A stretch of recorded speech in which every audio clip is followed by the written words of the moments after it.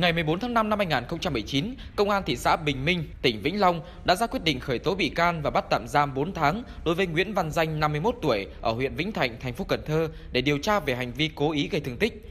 Theo hồ sơ của cơ quan điều tra, ông Nguyễn Văn Tư, 44 tuổi ở xã Mỹ Hòa, thị xã Bình Minh và Danh cùng làm thuê cho một công ty nuôi cá tại xã Mỹ Hòa.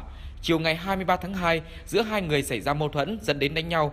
Ông Tư rượt đuổi và dùng đèn pin trích điện dí vào người làm Danh bị điện giật. Danh bỏ chạy vào vườn bưởi gần đó nhưng ông Tư vẫn tiếp tục đuổi theo trích điện vào người Danh.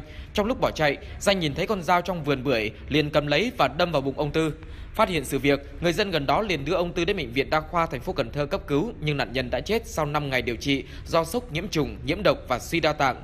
Sau khi gây án, Danh cầm hung khí rời khỏi hiện trường, bơi qua sông Hậu bỏ trốn và bị công an bắt giữ vào ngày 9 tháng 5.